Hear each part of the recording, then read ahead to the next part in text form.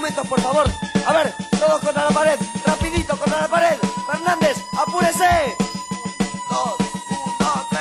Era un sábado a la noche, tenía plata y hacía calor. Me dije viejo aprovechar, sos joven y me fui al cine a ver una de terror. Salí a la calle, paré un taxi y me fui.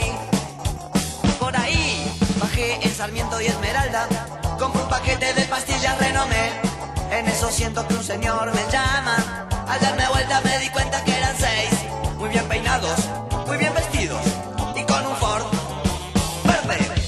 Pensé que se trataba de cieguitos, anteojos negros usaban los seis. Al llegar me dijeron buenas noches. ¿Dónde trabaja? ¿Dónde vive? ¿Usted quién es?